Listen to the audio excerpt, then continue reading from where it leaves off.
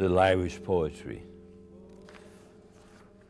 From William Butler Yeats. the Lake Isle of Innisfree.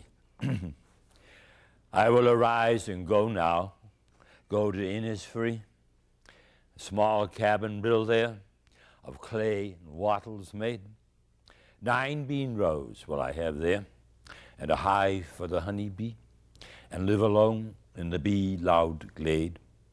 And I shall have some peace there, for peace comes dropping slow, dropping from the vales of the morning to where the cricket sings. There midnight's all a glimmer, noon a purple glow, evening full of linnets' wings. I will arise and go now, for always, night and day, I hear lake water lapping with low sounds by the shore. While I stand on the roadway, on this pavement gray, I hear it in the deep heart's core. Very nice. Here's Plunkett. He was in the rebellion, Easter.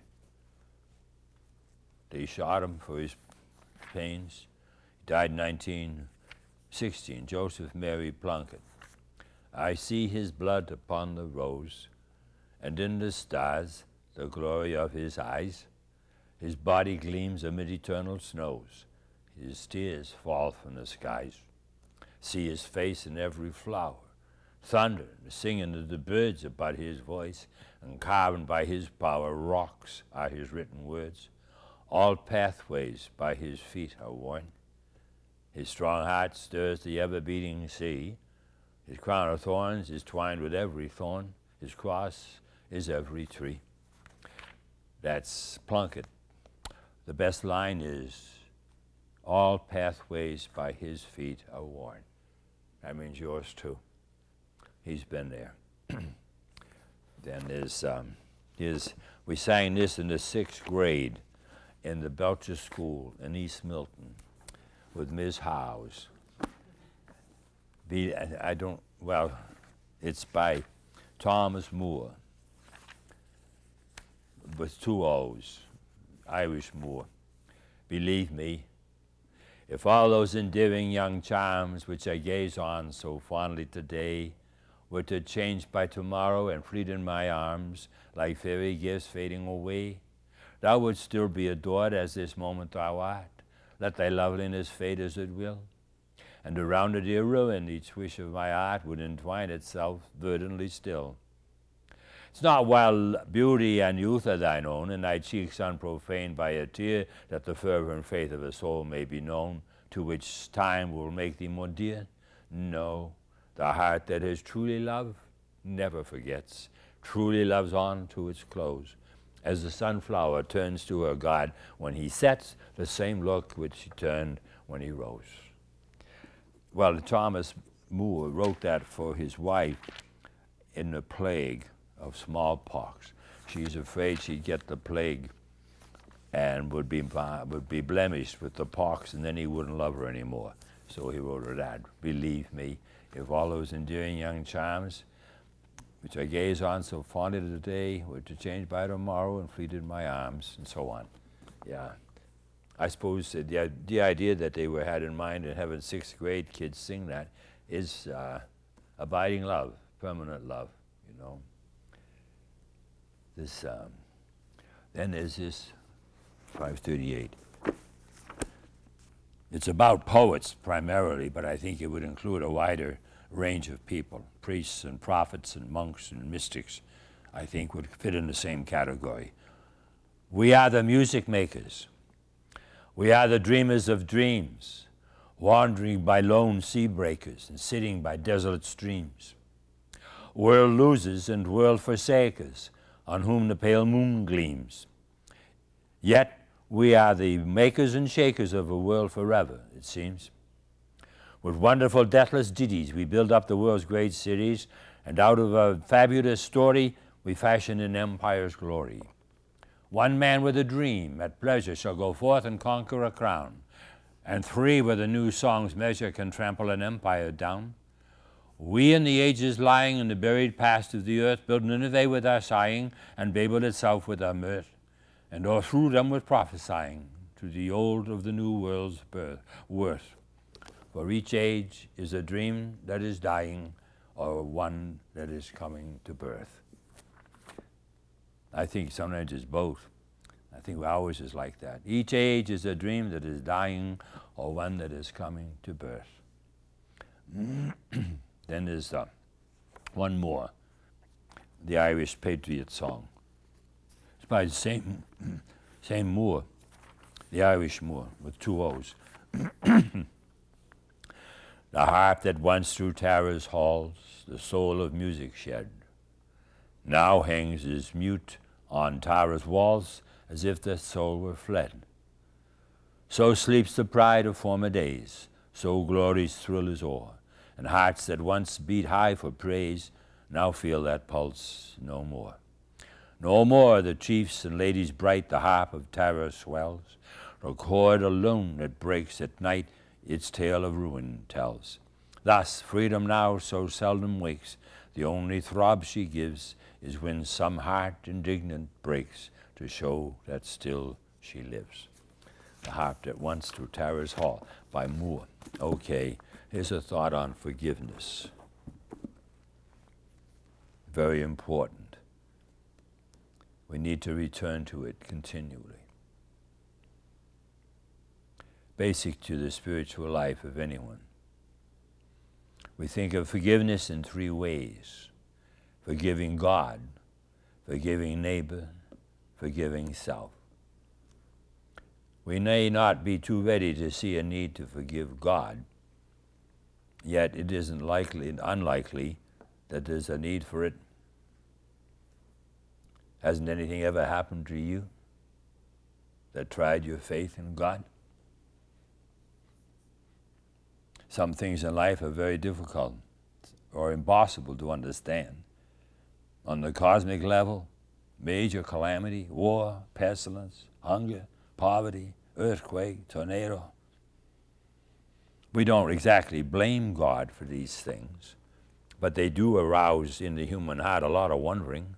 Why? Why is there such a colossal amount of human misery? Quite apparently beyond man's control and obviously within his. What sort of God is he?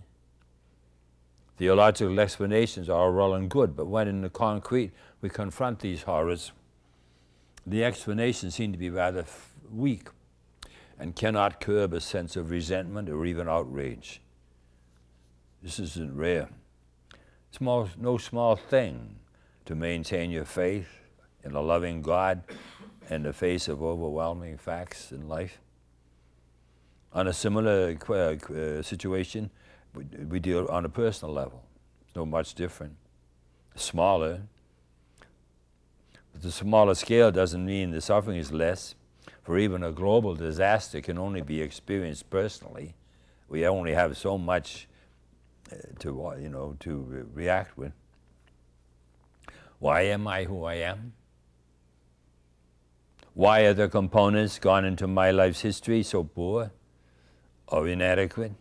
Terms of body, mind, soul, size, shape, childhood, youth, indeed my whole history. Why are they what they are?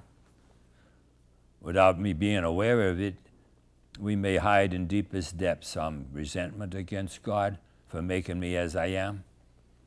My history as it is, this doesn't mean we're, we're just a bundle of resentment although some people are, but rather some sense that may be present only now and then, becoming obvious to us in some moment of insight. You know, to be the dumbest kid in the class, it's no fun. Kids can be cruel, you know.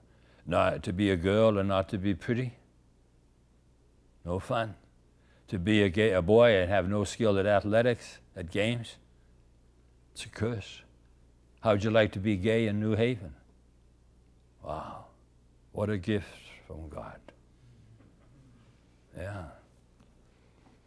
So it seems necessary to forgive God, humanly speaking. Well, that's only how we're dealing with this. There's a need to face up to that and answer with genuine forgiveness.